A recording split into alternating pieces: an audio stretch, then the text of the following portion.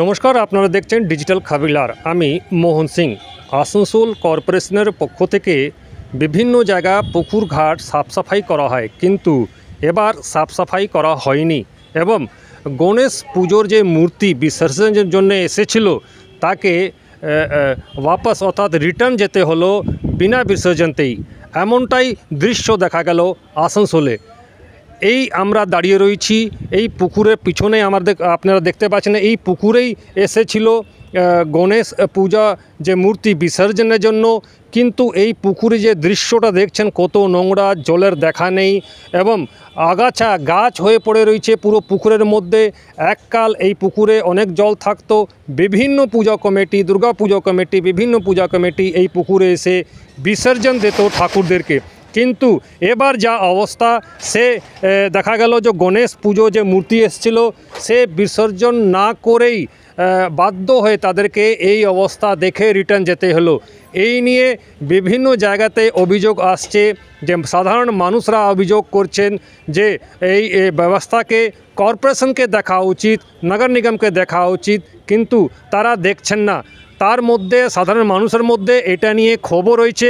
সেক্ষেত্রে দেখা যাচ্ছে যে, সাধারণ মানুষরা যখন ক্ষোভ দেখাচ্ছে, অন্যদিকে মেয়র বিধান উপাধ্যায় বলছেন, আমাদের কিছু জানা ছিল না। আমরা সমস্ত কাউন্সিলরদেরকে এটা আদেশ দিয়ে দেবো যে, বিভিন্ন পুকুর ঘাট তাদেরকে সাফ সাফাই করতে হবে। অন্যদিকে মেয়র পরিষদ বলছেন যে, আমাদের আগে থেকে জানা ছিল না যে এইরকম কোনো পুজো কমিটি এই এই পুকুরে এসে বিসর্জন দেবে। তাই আমরা তার আগে থেকেই ব্যবস্থা নিতাম। অর্থাৎ এই গণেশ পুজো বিসর্জন হলো না এবং গণেশকে ফেরত যেতে হলো, বিনা বিসর্জনে অন্য পুকুরে যেতে হলো। এটা নিয়ে অনেক প্রশ্ন উঠেছে।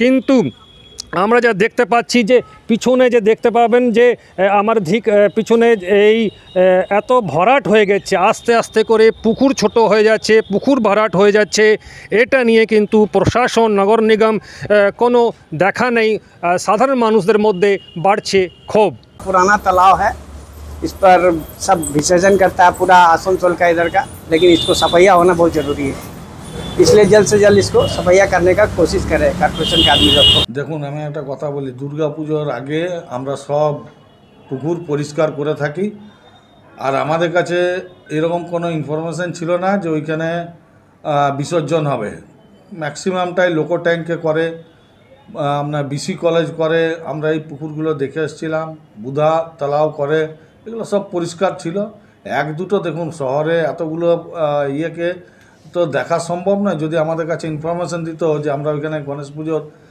যারা উদ্যোক্তা তাদের উচিত ছিল আগের থেকে যে কোথায় বিসর্জন হবে। যেমন আমাদের তিনটের সময় আজকে যে মিটিংয়ে আমি প্রস্তাব রাখলাম যে তিনটের সময় দোলা আনতে যাবে, তাতে আমাদেরকে লাইটের ব্যবস্থা করতে হবে। সেই জন্য আমরা আগের থেকেই বলে দিলাম যে দোলার ইয়ে। তো এরকম যদি আমাদের কাছে খবর থাকতো, নিশ্চয়ই অসুবিধা হতো না। কিছু না কিছু ব্যবস্থা করতামই। তো ওই অসুবিধাটা ওদের জন্যই হয়েছে। আমাদেরকে যদি ইনফরমেশন দিত, তো করতাম। আমরা আমরা গত বছর যখন দুর্গা পুজো বা ছট পুজো, কালী পুজো, এই পুজোগুলোর সময় আমরা পরীক্ষা, বা- প্রতিটি পুকুরকে পরিষ্কার করাই, যেগুলো বিসর্জন হয় বা যেখানে মানুষ পুকুরে নামে। তো তারপর আমরা আবার এই সামনে দুর্গা পূজা রয়েছে। এর আগে আমরা নিশ্চিতভাবে মানুষের যাতে সুবিধায় ব্যবস্থা করব। কিন্তু আপনাদেরকে প্রথমত হচ্ছে মানুষকে একটু সচেতন হতে হবে। কারণ মানুষ পুরো বাড়ির আবর্জনাটা গিয়ে ফেলে দিচ্ছে পুকুরের উপরে। সেটা বন্ধ না করলে কারোর পক্ষেই সম্ভব নয় পুকুরকে পরিষ্কার পরিচ্ছন্ন রাখা। কর্পোরেশন হোক, রাজ্য সরকার হোক বা যে কেউ হোক পুকুর পরিষ্কার করে দেবে, রাস্তাঘাট পরিষ্কার করে দেবে। এটা দেখার দায়িত্ব কিন্তু লোকাল মানুষের। যদি ওখানে কেউ ময়লা না ফেলে, এটা দরকার আছে। আমরা নিশ্চিতভাবে প্রতিটি পুকুরে, আমাদের আজকে এমআইসি মিটিং আছে বড় চেয়ারম্যান মিটিং আছে, আমরা অলরেডি আজকে তাদেরকে দায়িত্ব দেবো। ইমিডিয়েট দশ দিন পনেরো দিনের মধ্যে যেখানে যেখানে যা আছে রাস্তা খারাপ হয়ে আছে হ্যান হয়ে আছে সেগুলোকে সব মেরামতি মানুষ দেখুন আইন কানুন সব আছে আমার কাছে আমি আমার নিজের বাড়িটা পরিষ্কার পরিচ্ছন্ন রাখব। ডেলি সকাল সন্ধ্যা মোছামুছি করব। আর বাড়ির বাইরে যে গেটটার বাইরের জায়গাটা রয়েছে সেখানে আমি ময়লাগুলো ফেলে দেবো। তাতে নিশ্চিতভাবে জেনে রাখবেন যে আমি বাড়িটাতে সুন্দর করছি সুস্থ স্বাস্থ্যের জন্য। আমার বাড়ির বাইরে যদি আবর্জনা থাকে, আমার সুস্থ স্বাস্থ্য থাকবে না, অসুস্থই হবে। তাই বাড়ির সাথে সাথে বাইরেটাও পরিষ্কার, পরিচ্ছন্ন করা দরকার। প্রতি সময়ে আমাদের মাইকিং করে, আমাদের চিঠি মানে কি বলে, লিফলেট করে মানুষকে দেওয়া হয়, মানুষকে সচেতন করা হয়, মিছিল করা হয়। গত দুদিন, তিন দিন আগে আমরা একটা মিছিল করেছি লোকো ব্যাংক থেকে রবীন্দ্র ভবন পর্যন্ত। আমরা তো, কিন্তু মানুষকে এটাতে এগিয়ে আসতে হবে, মানুষকে দেখতে হবে। আমি, আমাকে তো বলতে হয় না কাউকে যে, ভাই তোমার বাড়িটা পরিষ্কার করো, পরিচ্ছন্ন করো, মুছো। মানুষ তো নিজেই করে নিজের বাড়িটাকে পরিষ্কার। থাল খাওয়া দাওয়ার পর থালটা, থালটাকে তো পরিষ্কার মানুষ নিজেই করে। কর্পোরেশনকে বলতে হয় না, রাজ্য সরকারকে বলতে হয় না। কেন্দ্রীয় সরকারকে বলতে হয় না। ওটা তো মানুষ নিজেই করে। তাহলে আমার বাড়ির বাড়িটা যখন পরিষ্কার, পরিচ্ছন্ন হয়ে যাচ্ছে, তখন ওটাকে রাখার দায়িত্বটা আমার। ডিজিটাল খবরিলাল, খবর আপনাদের, নজর আমাদের।